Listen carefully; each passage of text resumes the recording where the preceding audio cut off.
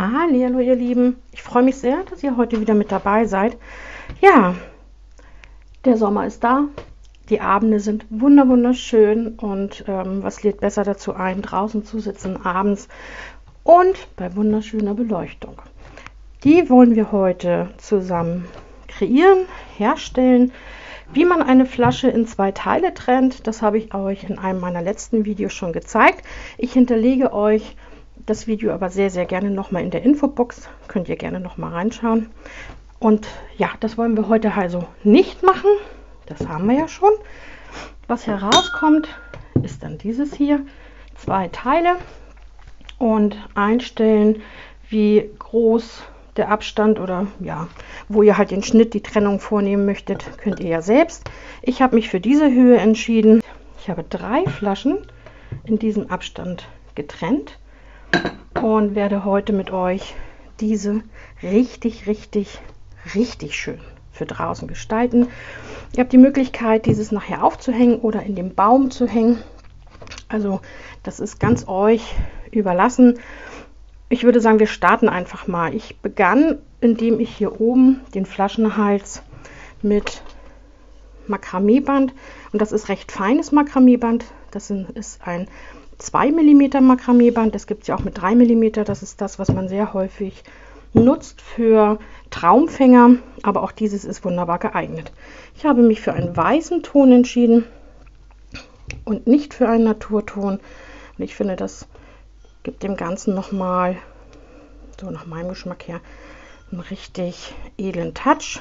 So, und jetzt gehe ich her und wickel den Flaschenhals einmal mit diesen um. Das Ende packe ich mir gerne da rein, dann stört das nicht. So, dann brauche ich das auch nicht dauerhaft festhalten. Ja, und jetzt gehe ich einfach her und wickel es stramm. Wer mag, kann kleben, aber eigentlich ist es nicht vonnöten. Bitte immer wieder nachrücken, dass die Abstände dazwischen nicht so arg entstehen. Und das mache ich mal eben im Schnelldurchlauf.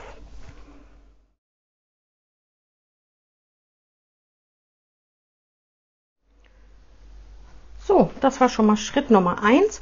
Und jetzt möchte ich euch zeigen, dass eine Trennung ähm, der Flaschen nicht immer nur richtig gut verläuft. Also hier finde ich, habe ich einen relativ guten Schnitt. Hier wiederum habe ich eine, ja, habe ich eine Kerbe. Manchmal ist es so, manchmal passiert es ganz einfach und insofern werden wir hier unten jetzt etwas anbringen, so dass man diese nachher ganz einfach gar nicht mehr sieht. Und zwar habe ich mich entschieden, ähm, ja, das ist hier so Leinenband anzubringen. Und zwar möchte ich das ganz gerne so in etwa umsetzen. Und dann schaue ich einfach mal, ob das auch so funktioniert, wie ich es mir vorgestellt habe. Ich habe zwei verschiedene ähm, Varianten ausgewählt, die Flaschenhälse zu verkleiden. Und wie ich meine dritte Flasche, ja, jetzt richtig verstanden, dritte Flasche unten verkleiden werde, da muss ich mal schauen, wie mir dieses jetzt gefällt. Dann stelle ich euch die andere Variante vor, die ich schon einmal vorbereitet habe. Und ja, dann schaue ich halt, wie ich die dritte Flasche gestalten möchte. So, jetzt habe ich hier meinen Heißkleber. Und ich habe jetzt leider nicht meinen super Heißkleber, der ohne Kabel funktioniert, sondern tatsächlich nur meinen kleinen. Mal schauen. So, jetzt gehe ich her. Ach, bevor ich das mache, vielleicht kann man hier ja noch so einen optischen Knick einarbeiten. Den hätte man vielleicht vorher bügeln können. Dann hätte man hier einen Merkknick, wenn ich das mal so betiteln könnte. Aber ich glaube, so dürfte das auch ganz gut funktionieren. Schauen wir mal. Ja. Aber wer sich nicht sicher ist, der bügelt das ganz einfach. So, jetzt haben wir da schon mal die optische, also die Mitte. Ich starte einfach mal hier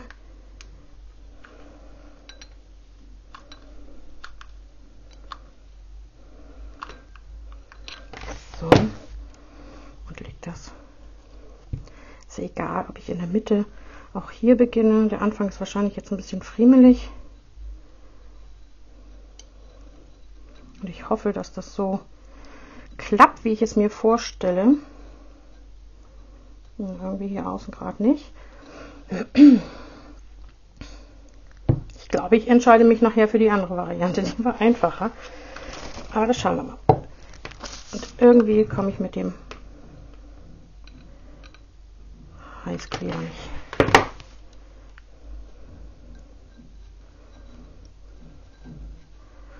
Ne, irgendwie, wie ihr seht, ist, hm, weiß nicht. Der, der Wille ist da. Und die Umsetzung irgendwie anders. Wobei ich finde es schön, doch, ich möchte es einfach umsetzen. Ich möchte es einfach jetzt so haben. Und insofern gebe ich jetzt mal alles. Ich klebe erst außen und dann versuche ich das Ganze mit innen. Ja, wie ihr seht, auch bei mir läuft nicht immer alles nur total glatt und rund und schicko, sondern manchmal muss man ausprobieren, improvisieren, anders machen als gedacht. Aber, aber es geht. So.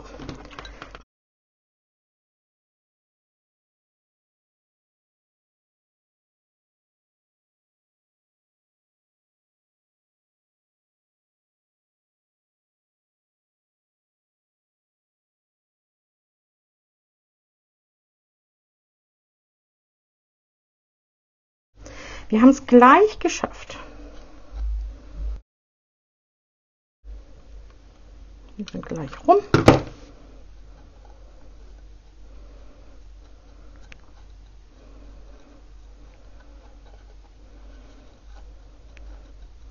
So, jetzt ist das Ganze ein bisschen knickelig, aber eigentlich stört es nicht wirklich. Also, ich finde, das kann man definitiv so lassen versuche ich hier noch einen sauberen Rand hinzubekommen. Was sagt ihr? Kann man, kann man so lassen, oder? Kann man so lassen? Kann man, ja, kann man so lassen. Aber ich zeige euch jetzt, wie mein erstes Stück aussieht oder vielmehr, ich mache mit euch jetzt einmal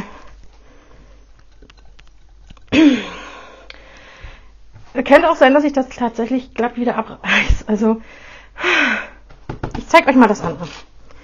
Und zwar habe ich hier einfach äh, so eine, ich sag's jetzt mal, ähm, so eine olle Decke kaputt geschnitten und mir die Bordüre abgetrennt. Und jetzt seht ihr, dass das hier tatsächlich viel, viel einfacher von der Hand geht. Heißkleber drauf, noch Möglichkeit sich nicht verbrennen. Und ansetzen. Fertig.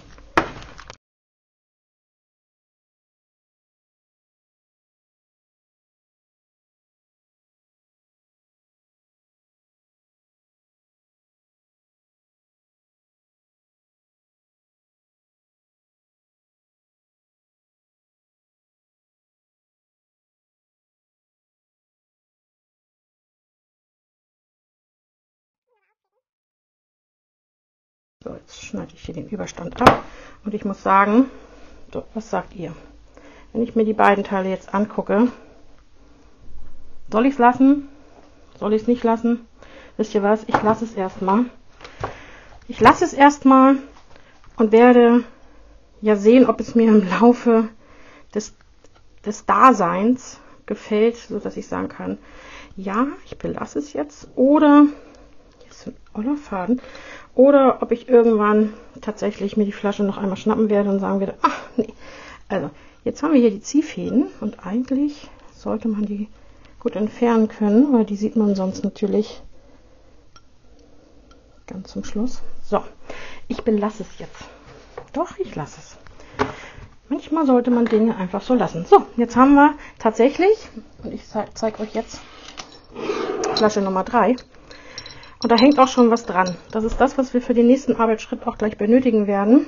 Aber ich stelle das noch einmal beiseite und ziehe einmal das rüber, was unten an der Flasche dran hängt. Und zwar ein kleines Glas. Und da habe ich mir so kleine Babygläschen ausgesucht. Die hatte ich zuhauf, weil mein Hund hatte Darmprobleme und dann hat er diese sehr gern in seinem Futter gemocht. Und da habe ich mir natürlich auch noch zwei weitere bereitgestellt und eigentlich sogar auch noch zwei weitere, die wir aber ein bisschen anders gestalten werden. Und jetzt gestalten wir erstmal die und das ist eigentlich auch kinderleicht. Wir brauchen einen Henkel. Ich mache das mal eben ab, dass ihr das ein bisschen besser sehen könnt. Ups. Wir benötigen eine Aufhängung.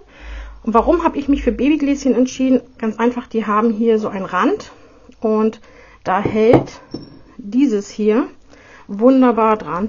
Und es ist auch keine Kunst, so einen Henkel herzustellen. Ich nehme jetzt von diesem Draht etwas doppelt und nehmt gerne mehr. Abschneiden kann man immer. So, und jetzt halte ich die eine Seite mit Hilfe einer Zange und in der anderen stecke ich jetzt einen Stift. Und jetzt drehe ich das Ganze, weil mir ist, naja, eigentlich sollte es halten, wenn ich es halte, weil mir ist ganz einfach nur eine Lage Draht zu dünn. Und wenn ich mir dieses hier so drehe, verzwirbeln sich diese. Und ich habe eine Drahtstärke, wie sie mir gefällt, wie ich gut und gerne mit weiterarbeiten möchte. Und ähm, ja, nachrücken immer wieder, ganz wichtig.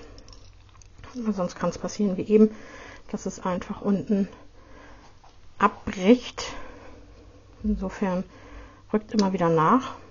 Oder ihr habt ganz einfach Draht in einer Stärke, die euch gefällt. so, was ist das für Draht, welches ich gerade hier benutze? Ähm, kann ich noch nicht mal sagen. Das nutzt man sehr häufig einfach zur Weihnachtszeit, um, um Grenze zu binden, meistens in grün. Ähm, ich kann aber gerne noch mal auf die Suche nach der Stärke gehen. Alle Zutaten, die ich hier benutze, hinterlege ich euch in der Infobox. Und insofern könnt ihr das dann wunderbar nacharbeiten. So, hier drücke ich es ein bisschen platt, das Ende. Und jetzt haben wir eine Drahtstärke, wo ich finde, wo man gut mitarbeiten kann. So, und dieses wird ja jetzt der Henkel. Insofern nehme ich nochmal mein Draht, führe es durch die Schlaufe, nehme dieses einmal doppelt und jetzt gehe ich her und wickel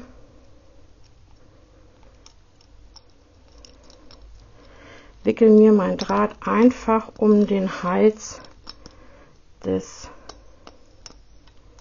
Breigläschens herum und ausjustieren kann man später immer noch. Da schaue ich dann immer ganz gerne von oben, ob ich die Mitte gut getroffen habe. Hier kann man tatsächlich jetzt schon hergehen und die andere Drahtseite einmal nach oben biegen. Ich zeige es euch mal.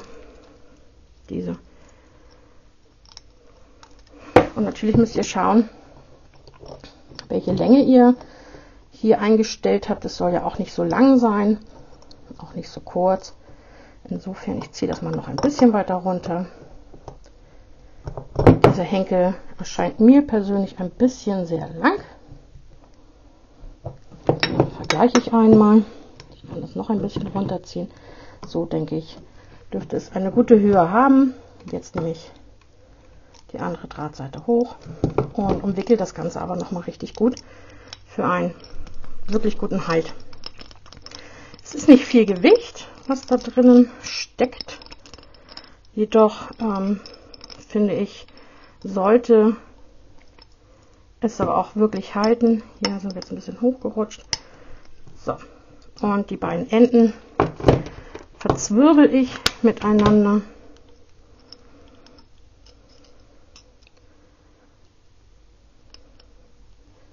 Und schon haben wir einen Henkel. Das gleiche mache ich jetzt mit meinen anderen Gläschen auch. Dann habe ich soweit alles vorbereitet, ich jetzt für die nächsten Arbeitsschritte brauche. Aber das mache ich fix im Schnelldurchlauf. So, das Ende schneide ich hier noch einmal ab. So. Ja, so schaut das Ganze aus und ich finde, es kann sich wirklich sehen lassen.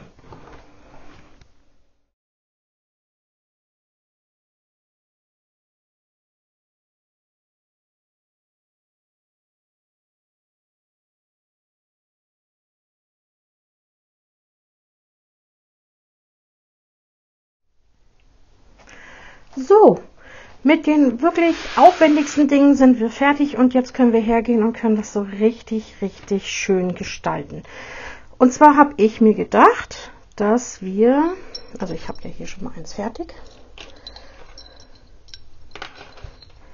dass wir diese Gläser samt Aufhängung zum Schluss, oh jetzt möchte es nicht mehr ran.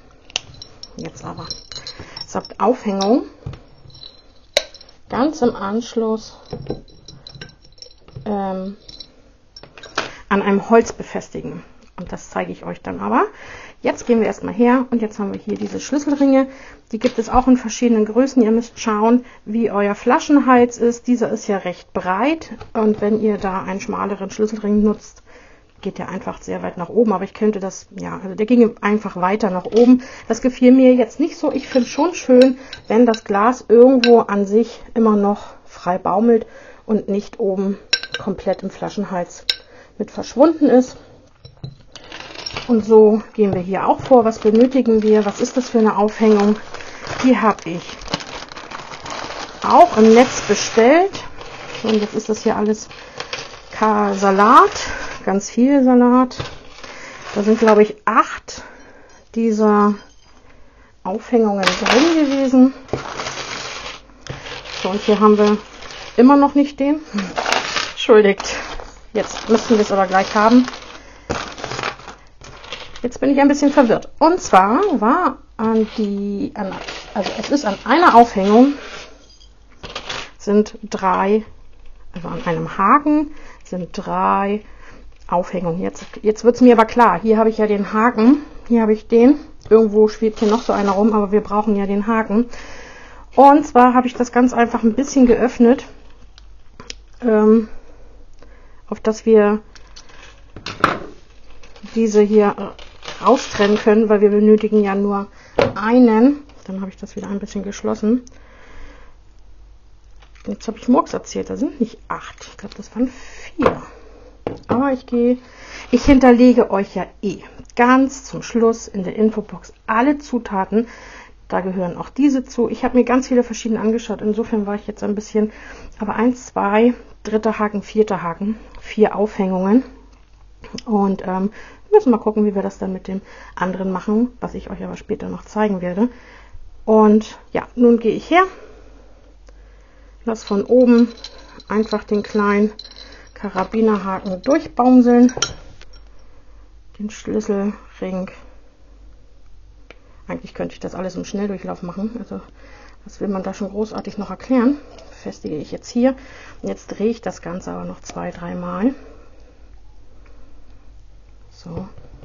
Ich hoffe, ich habe jetzt ganz gut die Mitte erwischt. Und füge alles zusammen. Das wäre jetzt Nummer 2.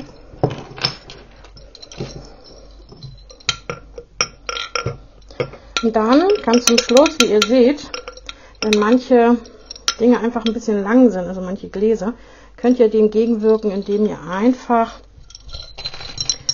dieses hier noch ein paar Mal umherdreht. Das kürzt ungemein. Ähm, sollte es nicht reichen, zwirbelt einfach nochmal die Seite auf, zieht das nochmal ein bisschen runter und kürzt die Seite. Ich finde es persönlich überhaupt nicht schlimm, wenn eine Seite jetzt länger sein sollte als die andere. Mich stört es persönlich nicht. Aber dann müsst ihr halt schauen, ähm, ja, was ihr so mögt. Eigentlich bräuchten wir die Haken hier hinten auch gar nicht, wenn wir, dazu komme ich ja noch, die Aufhängung nehmen, woran ich dies alles nachher anbringen möchte. Aber dazu später. Ich mache an den Flaschen jetzt ganz einfach die Haken ran, weil ich das am ersten auch schon dran habe.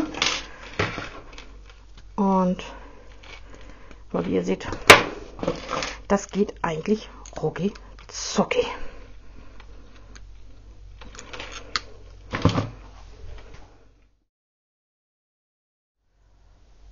So, dann hätten wir unsere drei Aufhängerchen fertig. Und jetzt zeige ich euch, was ich meine. Und zwar habe ich hier so ein Holzstück, wo einfach fünf Haken dran geschraubt sind mit einem Stück Band. Ich muss mal schauen, ob das Band ausreichend ist oder ob ich das tatsächlich ein bisschen verstärken werde, indem ich ein stärkeres Band anbringe. Aber da schaue ich mal.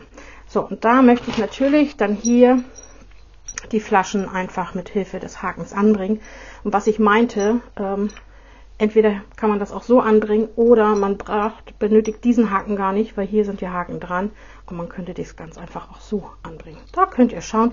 Der Vorteil mit diesen Haken ist, was ich eingangs auch sagte, was ich mir richtig schön vorstellen kann, wenn man das in den Bäumen hängt. Wenn man das einfach draußen im Garten in einem Baum hängt und das dort dann vor sich her leuchtet. Zum Thema Leuchten kommen wir jetzt. Ich persönlich bin ein Fan von LED-Lichtern. Ich bin kein großartiger Fan von echt Wachskerzen. Insofern habe ich mich für diese hier entschieden und muss sagen, ich finde, das passt. Wer jetzt sagt, oh, man schaut aber hier auf so einen weißen LED-Hals, ich finde irgendwie das optische mit diesem Silberrand ansprechender. Ich habe es versucht, indem ich eine Kerze raustrennte, ob diese LED-Kerzen da reinpassen. Nein, leider passen sie nicht rein. Aber ihr könnt hier doch ganz einfach auch ein kleines silbernes Stück Band anbringen. Oder ja, es gibt ja dieses, wie heißt denn das Band? Jetzt überlege ich gerade. Das ist selbstklebende glaube, das nennt sich auch so Tapeband oder komme ich noch drauf. Auch das kann ich euch in der Infobox einfach hinterlegen, was ich damit meine. Aber vielleicht komme ich noch auf den Namen. So, und jetzt habe ich meine drei Flaschen fertig, die ich anbringe. Und ihr habt gesehen, fünf Haken. Fünf Haken, wofür? Um einfach noch eine niedliche Sache ganz in der Mitte mit anzubringen. Weil ich finde, das bringt nochmal so einen richtig süßen Touch daher. Und das machen wir mal eben fix fertig. Auf dass die Blumen gut stehen, habe ich mir von diesem Draht einfach etwas um die Hand gebunden. Da brauche ich jetzt keinen Steckschaum, aber das ist eine leichte Steckschaumhilfe. Und wenn man dieses einfach hier ins Glas gibt, hat man wunderbar so eine kleine Hilfe für die Blumen, dass sie nicht einfach alle nach rechts, alle nach links oder wie auch immer überstehen, sondern ein bisschen Halt haben. So, hinzu etwas Wasser, das ist ganz klar. Und was habe ich für Blumen? Wie ihr seht, ganz gemischt. Und zwar einfach ganz viel von draußen. Ich habe mir, ich fange mal mit diesen hier an, einfach verschiedene Gräser gesucht. Die wachsen momentan überall an den Straßenrändern. Und da geht ihr einfach her, nimmt euch ein paar schöne Exemplare, schön vom, nicht wirklich so vom Rand. Also da bin ich auch kein Fan von, da wo die Hunde sich schon verewigt haben, sondern ich gehe tatsächlich etwas weiter rein und ähm, nehme gerne von den Gräsern, die nicht schon Hundeduft enthalten. So, und jetzt seht ihr mit dem Draht da drin, das ist eine wunderbare Steckhilfe. Sollte es eigentlich sein. Aber dieser will nicht. Das hat aber nichts mit dem Draht zu tun. So, und dann haben wir hier noch so ein paar andere Schönheiten. Ich bin mir nicht ganz sicher, wie diese alle heißen, aber diese finden jetzt Platz in meinem Glas.